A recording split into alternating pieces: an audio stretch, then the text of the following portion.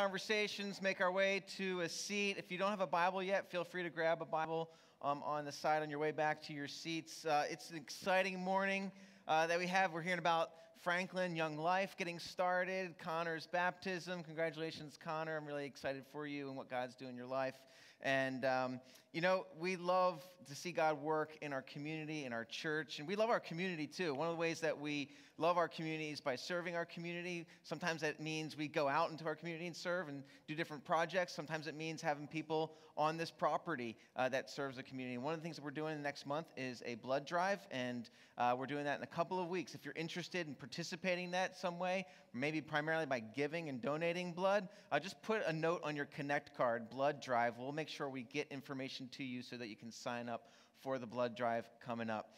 As we start our teaching time, maybe you didn't get a chance to grab your Bible. If I could have a couple ushers pop up and grab some Bibles, that would be really helpful. And uh, we want everybody to have a copy of the Bible when we have our teaching time. And uh, one of the reasons is we just want you to read God's words for yourself and not just believe that it's coming from me. And so if you don't have a copy of a Bible, we'd love to get that into your hands right now. So just raise your hand and wave down one of our ushers who has a Bible if you need one, and they will gladly get one into your hands. So if you need a Bible, just raise your hand, they'll get it to you. If you don't own a Bible or have a copy, just hold on to that um, and keep it for yourself. It's our gift um, for you. Uh, years ago, uh, there was a young man that asked me for financial help.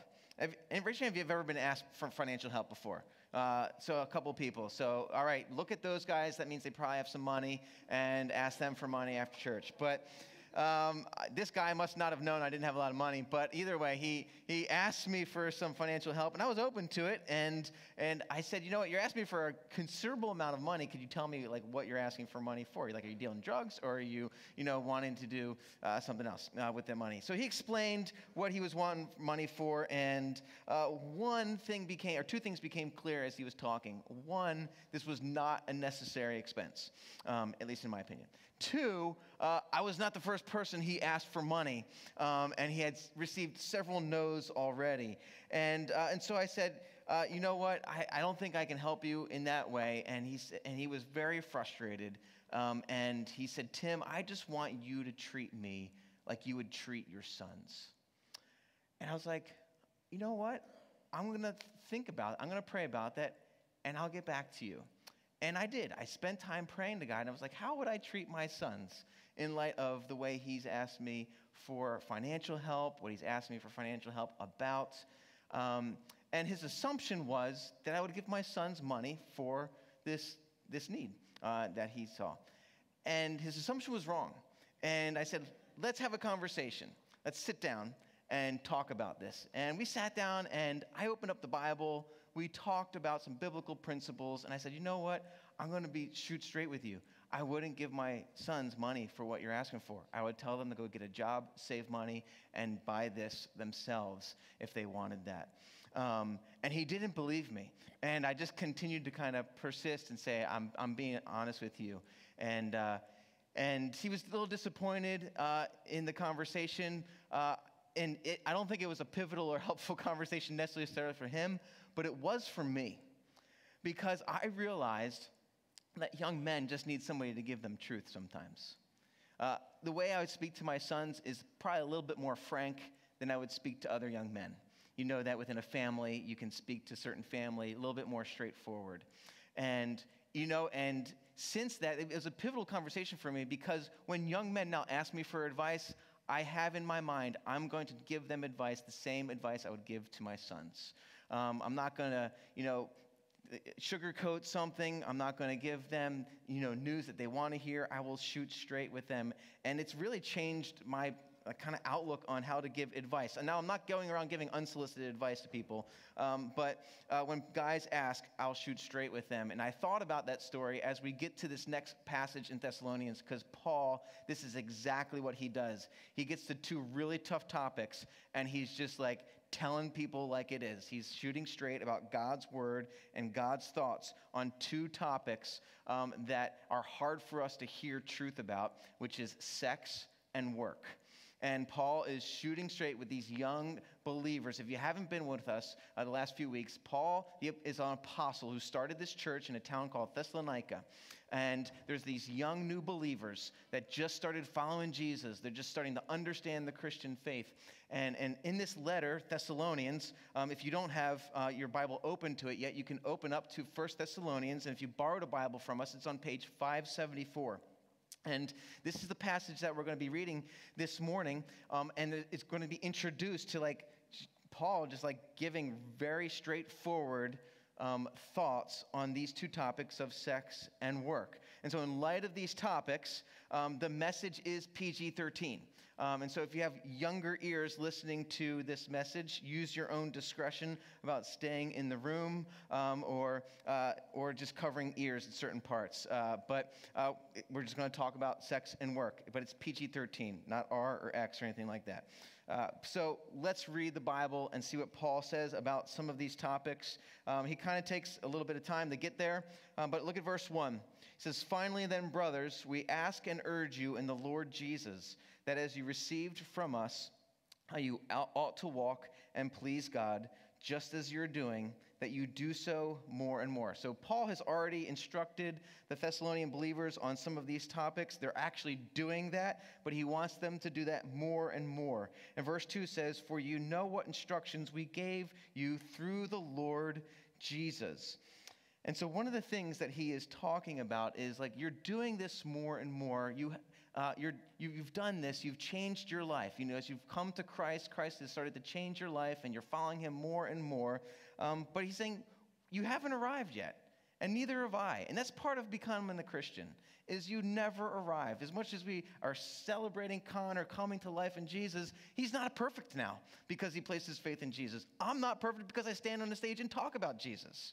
Um, one of the things about the Christian life that we see very clearly in these first two verses is growth in our relationship with Jesus is never complete on this side of eternity. We're always growing. We're always learning more about God. We're always becoming more like Jesus. We don't ever claim to be perfect people. We don't ever claim to have our act together. In fact, we need more help. And Paul is communicating to these new believers your life is totally changed because the Thessalonian believers, their life really changed, but he's helping them understand you still have more growing to do. And, and so he's not writing anything new to them necessarily here, um, but he's helping them and reminding them of some instructions. And one of the things that he starts talking about is the purpose of life. And one of the things that he writes about here is one of the purposes of life is to please God. In fact, the main purpose of life, Paul advocates, is to please God, to worship and to live for Him. That's the main purpose that God created us for to make Jesus the Lord and Savior of our lives, to say to God, like, you're God, I'm not. So you're in control. I'll take my cues from you. Um, if you created me, I'm the creature. Tell me how to live, and I'll live that way.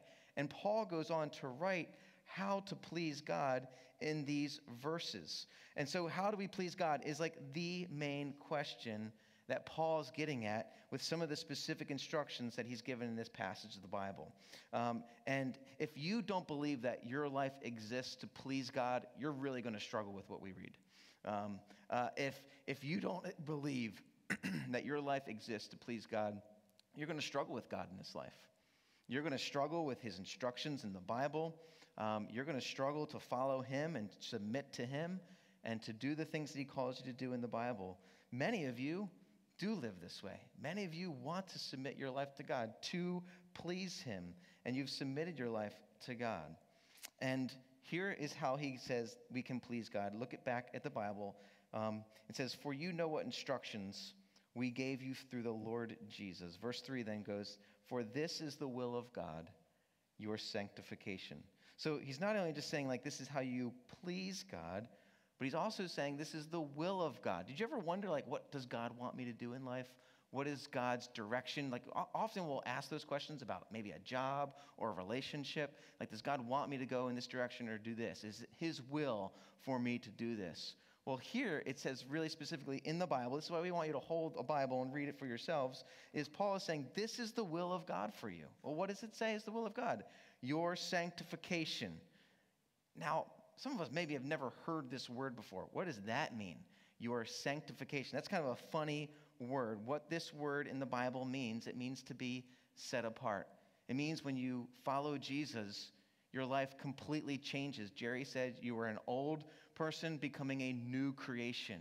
And when you follow Jesus, you become a new person. You submit your life to God, and your sanctification is to be set apart, um, to be like God, to become like Jesus Christ. So you're going to start to change in different ways. That addiction that you struggled with, you're going to start to have a sense of like, I don't need that anymore. I don't need to go there for that fulfillment. Now I have Jesus. And so that's a way that our life changes in Jesus. Or maybe you used to need love from a man in order to feel that you were truly valued. And now when you become a Christian, you're like, know what? I just need love from God. If God loves me, that's enough for me. Doesn't mean you don't ever continue to struggle, but then maybe you move on from abusive relationships and you have a higher standard for a man in your life. Uh, maybe you are consumed with making more and more money, and all you can think about is, Am I making m- enough money or more money to buy more things? And when you trust in Jesus, you start thinking, How can I give money away?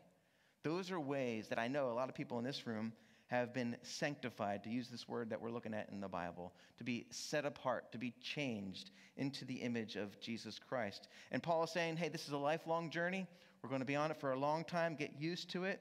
But he goes to his very first topic that he's uh, getting at, and that's sex. And so, this is one of the ways that you are sanctified. This is God's will for you if you are a follower of Jesus Christ. If you're not a follower of Jesus Christ, we're not telling you to live this way. But if you are a follower of Jesus Christ, this is God's will your sanctification, keep reading, that you abstain from sexual immorality, that each one of you know how to control his own body in holiness and honor, not in the passion of lust like the Gentiles who do not know God, that no one transgress and wrong his brother in this matter, because the Lord is an avenger in all these things. As we told you beforehand and solemnly warned you, for God has not called us for impurity, but in holiness. I don't know about you. Is that direct? Seems pretty straightforward. You see, the thing, the situation that we're reading, these words were written 2,000 years ago. They weren't written to people in Reisterstown, Maryland, or to America. They were written to people who lived 2,000 years ago in a town called Thessalonica. And I don't know about you, but we need to learn a little bit about Thessalonica to understand these words. Uh, if I say Sin City, what city comes to mind? Vegas, Las Vegas, right? All right. And if I start to say the motto, whatever happens in Vegas stays in Vegas. All right. Thessalonica was kind of like Vegas. Like I went to Las Vegas the first time I remember going to Las Vegas. I just remember walking down the sidewalk and seeing advertisements to just turn right into a strip club. And it was really easy just to go into a strip club or, you know, to pursue sex for sale in a variety of ways. Now, Thessalonica, um, you know, there wasn't a slogan, but if there was a slogan, it wouldn't be whatever happens in Thessalonica stays in Thessalonica. It would be whatever happens in Thessalonica is awesome and tell everybody about it. And here is a quote from a, a scholar that can help us understand the, the culture of Thessalonica. It says, A man might have a mistress who could provide him also with intellectual companionship the institution of slavery made it easy for him then to have a concubine. So that's a second relationship with a woman.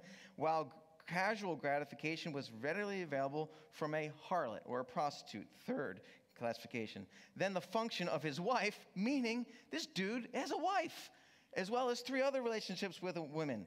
He was to manage his, or this woman was to manage his household and to be the mother of his legitimate children and heirs. See, in American culture, you hide these relationships from your wife, right? If you're doing them. Hopefully, nobody is doing those relationships. In, Thessalonica culture, it's like, no, everybody knows about my relationships with my concubine and with my mistress and with my harlot and then with my wife. Any wives here open to this kind of arrangement, by the way?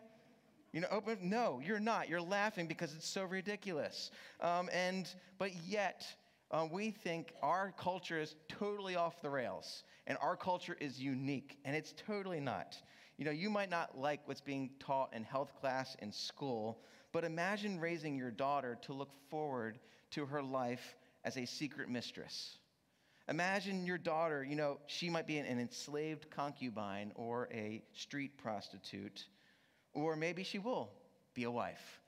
But unfortunately, she's not going to be a cherished spouse. She'll just be a used woman. You know, today there's much more value ascribed, rightly so, to women. Um, today, rightly so, human trafficking is condemned, and many of these things are condemned. But one thing does remain true, even though our culture is different, is sexual purity is still not a virtue that is valued. Sexual purity wasn't a virtue that was valued in Thessalonica, and it's not valued today. Nobody's saying, that's a great job that you're a high school or middle school student and you haven't had sex yet. They're making fun of you if you haven't had sex yet. You know, in the 80s, if you watch the movie 16 Candles, Molly Ringwald uh, introduced the world to 16 being this age of being sexually active and being good and okay. Today, the age is much lower. And yet, the Bible is a book that applies from generation to generation, decade, century, millennia after millennia, to all people. When Paul wrote these words to Thessalonians, it applied to other cities, it applies to all peoples of all nations, of all ages, of all genders. God's will for you, he says it really straightforward, is to be sanctified and to abstain from sexual immorality. It's clear it's direct, and it's authoritative. He says, This is through Jesus. Like, these are Jesus. I, I learned this as a follower of Jesus. This is God's will for you. And if you embrace this as a follower of Jesus, you're going to be swimming upstream in culture the rest of your life. Now, the question is well, what does he mean by sexual immorality? You know, so abstain, but what exactly am I staying away from? Well, Paul makes a contrast. Look at verse 5, where he says, Don't be like the Gentiles um, who do not know God. Uh, why does he say, don't be like the Gentiles? Because any craving that they had, they would just go out and fulfill it and satisfy it. They had no restraint. But Paul is saying, when you start to follow Jesus, you start to have restraint. And it's not just in areas of sex, it's restraint from that drink. It's, it's, it's restraint from, you know, taking that drug. It's restraint from those different vices that we all face in life. The Holy Spirit comes to our, into our lives and give us the ability to us for us to restrain ourselves from doing that. And so that's what Paul is saying is don't be like the Gentiles who have no restraint. You're a different person now in Jesus Christ. You have the ability to say no. And the word that he actually uses here is, is a word that you might, it might sound um, similar. The Greek is porneia. Um, and we immediately probably connect this word to pornography, which is certainly in view of things to abstain from. But this word had a really broad meaning. And so I'll give my definition for porneia. It's any sexual activity outside of the covenant of marriage, meaning I'm looking to all of Scripture to help us understand what this Greek word means. And for Paul to use this word, it's kind of like a real comprehensive catch all. If I told you um, as a parent, I, was, I have five children, and if one of them got in trouble and I said, hey, there's no screen time for a week. Um, so when I say no screen time, if my kid were to say, well, what about video games? What do you think the answer is? No. Okay. Oh, well, how about TikTok? No, that's media, right? Well, well, how about Netflix? No, media. It's all off limits, right? It's a comprehensive term. This same word, porneia, is a comprehensive term when it comes to, well, what about this? You know, well, I'm not going all the way. Well, Paul's saying, abstain from that. Well, I'm not engaging in it, I'm just looking at it. No, abstain from that. Well, we're going to be married anyway. No, abstain from that. He's kind of like it's a catch all phrase to say we're different people when we follow Jesus. And it's going to be weird and it's going to look different. We're not telling people who don't follow Jesus to do these things. But if you are a Christian and decide to follow him, this is the standard that you're given. Now, if you're not a Christian and you're here this morning, you're hearing this, you're probably thinking, I'm crazy. People who believe this are crazy, and that there's a negative view of sex that we have. And that may or may not be a valid criticism of Christians. But the Christian view of sex is actually that it's a good gift from God. Like the two words that we're talking about this morning, sex and work, he actually gives a lot more verses, uh, Paul does, about sex. Um, is they're good gifts, they're good things. Sex is a good gift to be enjoyed between a husband and a wife in the context of a marriage. It has multiple purposes of enjoyment, emotional attachment, procreation. There are good things about sex. That's why Paul says in this, um, these verses, you know, let sex be honorable, let it be holy. It can be those things. Yet the Thessalonians, as we've seen, like they're living in a culture where sex has become really twisted and distorted. We know sex has become twisted and distorted through human trafficking and through abuse. Maybe sex was a tool of evil in your life where you have experienced abuse and hurt. People have chosen sex over their family and the addiction that it has, and they've ruined their family because of it. There are people that pursue sex as an idol instead of following God. No, I'd rather have this. And they've rejected God just simply because of sex. See, Satan's subtle strategy to keep a lot of people from following God and to keep people who even follow God discouraged in a relationship with Him is to encourage sexual activity outside of marriage and to discourage it in a marriage. If you're a married couple, you're like, yep, I know what you're talking about. There's, Jesus didn't say don't commit adultery just for the sake of saying don't commit adultery. He knew that for many married couples, the pull to somebody else would be really strong in certain times of marriage. It's like, you know what? The grass is greener with this person instead of my spouse. And that's why Jesus says, don't commit adultery, because he knew that the pull to it would be strong.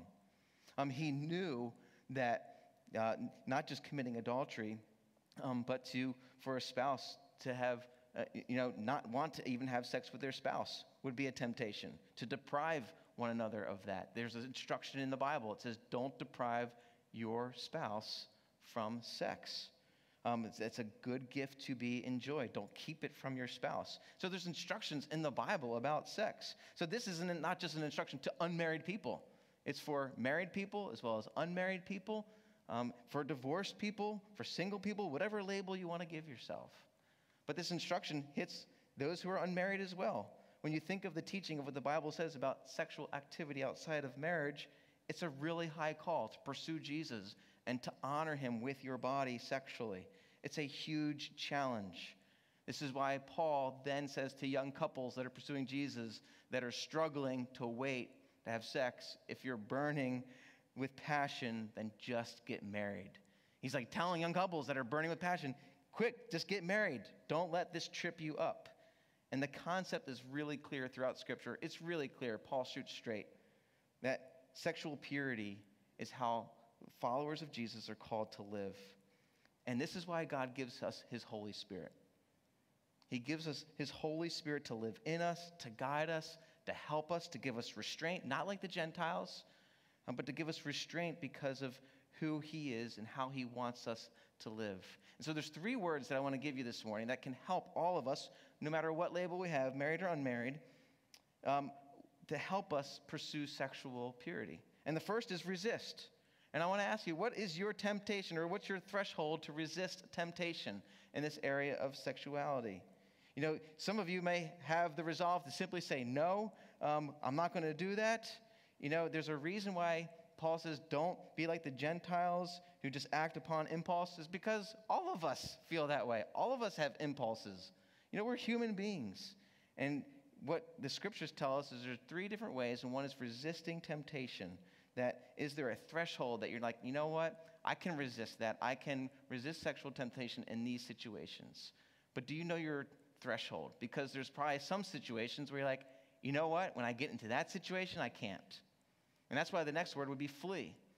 And so we see this in a great example of Joseph in the Old Testament when Potiphar's wife comes on to him and he literally runs away, leaving his clothes behind because she's like stripping off his clothes from him. If you don't believe that's a true story in the Bible, you can go and read it for yourself in the book of Genesis. And he's fleeing from a situation um, where he doesn't want to fall and falter um, and dishonor God. So maybe fleeing a situation is simply turning off the TV or the computer, getting out of the car or bedroom to physically remove yourself from a situation where you're not sure that you'll be able to pursue God's standard of sexual purity. But if you can't flee a situation, maybe the third word that you need to consider is what do you need to completely avoid? See, when you know your threshold and the certain situations that you put yourself in, maybe you just know that you're never going to succeed in that situation or environment. And maybe you need to completely avoid it. Maybe that coworker, you just can't go out to lunch alone with them or drive in the car with them because you know that you will do something that's inappropriate. You will pursue them when you shouldn't. You know, maybe you think I could be in groups of people with this person, I can be alone with them, grab lunch together with them, you know, hang out together, but when it's in the basement and it's dark and we're watching a movie, you know what? Probably shouldn't be in that situation. I had a friend in New Jersey when we lived up in New Jersey for 10 years. Uh, one of the, his commitments, one of the things that he uh, decided to do was he refused to go to the beach. He just avoided the beach at all costs. And I know this is crazy, and it was really extreme example. But this was how he wanted to make sure he pursued sexual purity. He didn't want to look too much at other women at the beach. And so he didn't go to the beach. I know that's really extreme. You know, and some of you are like, why would we listen to this advice? Why would even consider living this way? Well, first in verse 7, go back to the Bible, because again, again, I want to answer these questions with the Bible. Verse 7 says, God did not call us to impurity, but to holiness. Why? My friend, he wanted to be holy. And the best thing he could do was not go to the beach to be holy.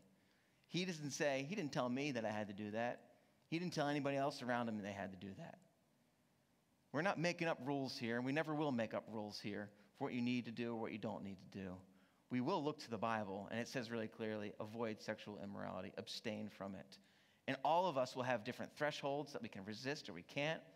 All of us will be able to, um, so, you know, have to have different opinions and thoughts on whether we need to flee a certain situation or avoid a certain situation. But the call is to be holy. There's a man, I think I've shared the story before about Augustine, who was um, a, a, famous uh, historical leader in the church. And he had a life of licentiousness and just pursuing whatever sexual appetite he could pursue before he started to follow Jesus. And when he started to follow Jesus, one of the women that was in his life came up to him. And as the story is told, she said, Augustine, Augustine, hey, it's me. And Augustine just did, he didn't respond to her. And she went, Augustine, Augustine, it's me. And it's one of these women that he had been with. So he, he obviously knew her. Um, and he responds and he says, It might be you, but it's no longer me he had changed, saying, like, I'm not the same guy that you once knew. I'm totally different. I'm pursuing Jesus, and I want to be holy and follow him. And I'm a different person now. The second reason, so first to be called to holiness, the second reason that Paul gives, you know, why would we abstain from sexual immorality? Not that God even needs to give us an expl- explanation when he gives us a command, but he does here. Because um, disregarding this teaching is rejecting God. Look at verse 8. Therefore, whoever disregards this disregards not man. So this isn't just a preacher at a church saying this. Um, this is not just an opinion that's being given. It's not just some book that we're reading from. These are God's instructions. And God gives you his Holy Spirit to keep this. So if we were to reject this, particularly if you are here and you're a follower of Jesus, so yeah, I'm a Christian. I follow Jesus. Um, if you're to reject this, you're essentially rejecting God. Um, if you're not a follower of Jesus, you're probably just thinking we're really crazy right now. I mean, this is like the one Sunday. We don't talk about sex every Sunday. Um, we don't talk about a bunch of rules that you need to follow. This is just where we're at in this book of the Bible. And it's really straightforward. And yet, it's straightforward because God wants to keep us holy and pure and to follow Him. My guess is that some of us who do follow Jesus might be experiencing shame from hidden sin in our life, current struggles that we have, maybe past regrets that come to mind that still haunt us about different sexual activity. And you know what? This is where we need to be reminded, whether we follow Jesus or don't, that God is a good God. He's a loving God. He's a forgiving God. He is a God who is rich in mercy, full of kindness, ready to extend forgiveness to anybody who would come and ask for it who would confess their sin. If you feel defeated, you don't need to let past failures or current struggles beat you down this morning. You can be free from these vices that keep you from following Jesus in purity. And when you come to Jesus, he gives his Holy Spirit to you, gives you the power to say no, to restrain yourself? Are you asking for help from the Holy Spirit? God, the Holy Spirit, help me to honor you. If you aren't, you should start trying to do that. If this is your first time in church or you haven't been in a while, you're likely saying, This is not for me. I'm not really interested in this. And I would totally understand why I did that. I would have done that. Listen, this is a teaching of the Christian faith, but this is not the Christian faith. This isn't where the Christianity begins and ends. Christianity begins and ends with Jesus and a relationship with Him and a relationship with other people who follow Jesus. That's why, if you look back to the verses that we're reading this morning, Paul kind of does a little reprieve here in verse 9. Look at it. He says, Now concerning brotherly love, you have no need for anyone to write to you, for you yourselves have been taught by God to love one another. They have experienced love from God, and so they're to love one another as brothers and sisters in Christ. Verse 10 says, For that indeed is what you are doing to all the brothers throughout Macedonia. But we urge you, brothers, to do this more and more. What the Christian faith is about is about love. It's about the love of God for us. And as we experience God's love for us, we love other people that way. We, especially those who are other followers of Jesus Christ. If you missed the beginning of this book of the Bible that we're studying, 1 Thessalonians, the first three chapters, chapters 1, 2, and 3, are all about God's love, not just for us, but that we experience with one another. Paul loves these people. He's thanking God regularly for these people in chapter one. In chapter two, Paul is saying, I've loved you like a mother who loves an infant. I love you like a father who's gently instructing a child. In chapter three, Paul says, I want to see you again. I want to visit with you. Like there's this sense of like camaraderie and deep love that Paul has for these fellow Christians. And so if you're wondering, like, hey, is Christianity all of these just rules? No, it's not. It's about a life of love and about a life of community and real relationships that seek to honor one another rather than defraud one another. And so then the chapter in the middle of two very strong instructions that, that we're hearing this morning, and that we're going to see the second one in a second, is Paul just put a little reminder in here.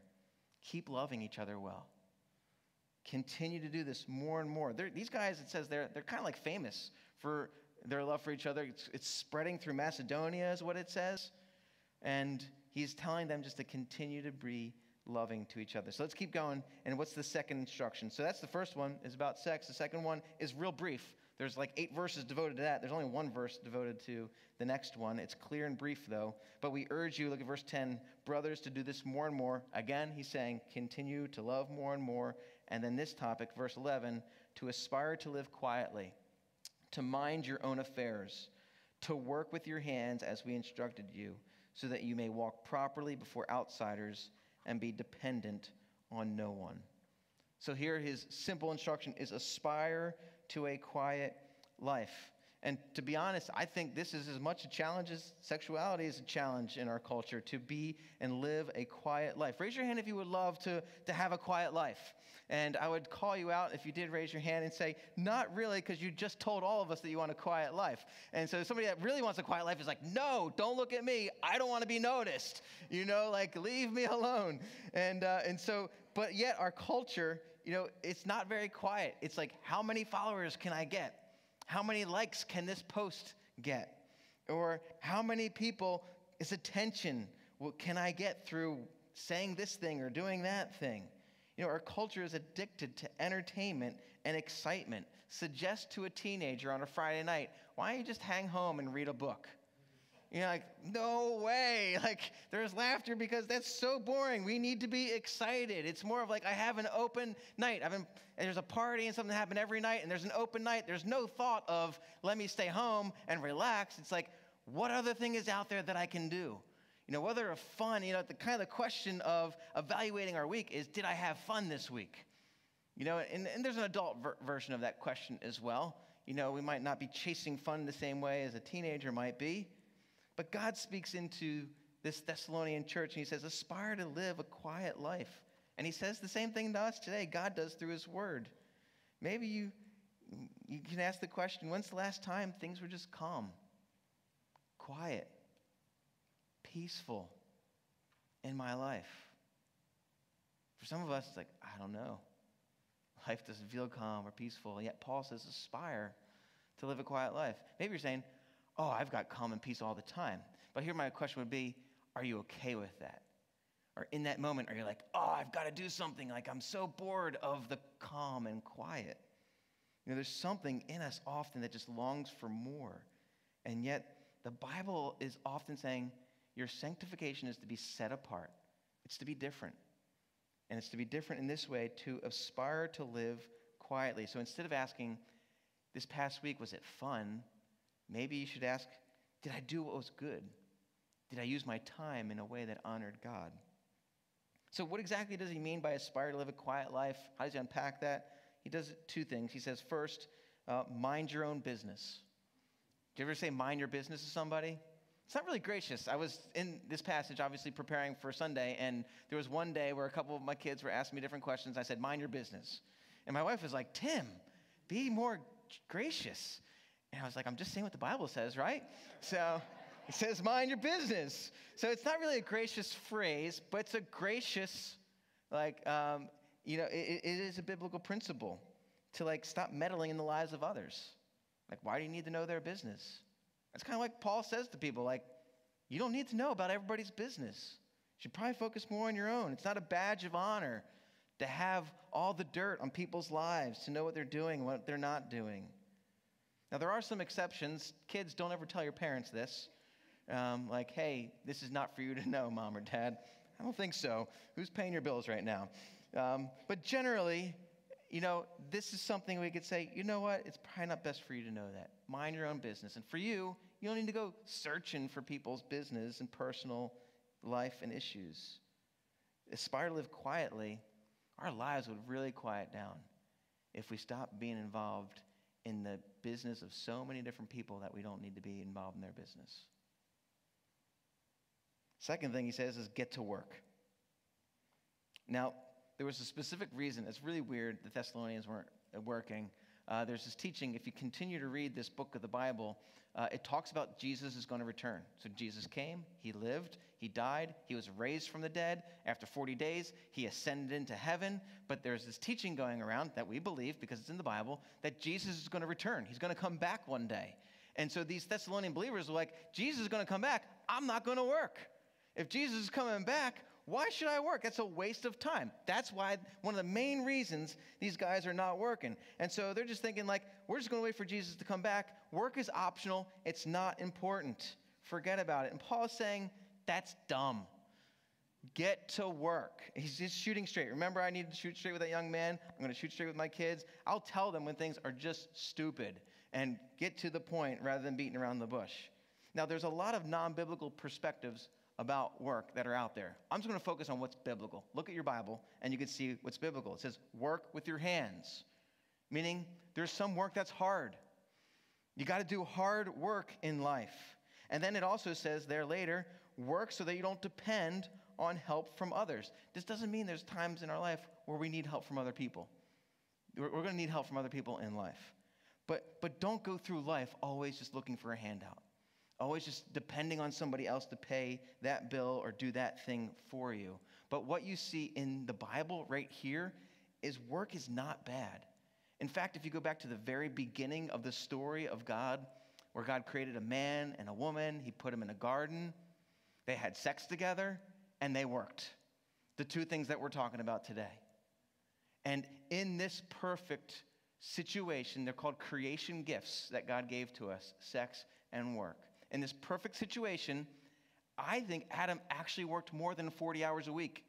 So if you feel like all abused by your boss because like, oh, they're asking me to work more than 40 hours, Adam had a six day work week. He only had one day off. God, when He created the world, He took one day off and gave one day off. And He said, This is good. And so if you're going around complaining about working a lot, get over it. Because God says, This is the work week, it's six days a week. And we live in a world that promotes all these ideas of work less, play more, be your own boss. You know, there's so many different phrases that are out there. You know, find passive income and just live the life you want to live for yourself. That's great if you have passive income, but still work. That is what the Bible says. But yet we can fall into Satan's trap and expect things to come easily for us and avoid hard work and make excuses to be lazy. See, Paul was writing to the Thessalonians who manual labor in this Greek culture was despised. It was looked down. Manual labor, ah, that's for slaves. That's not for me. And, you know, the better, you were a better man if you worked less, was the view of that culture. And Paul is like speaking and saying, no, that's not even how God created the world. Before sin entered the world, a man was working. And look at what God did, even in a broken world. He called a carpenter king. Jesus worked, he was a carpenter. He called fishermen apostles.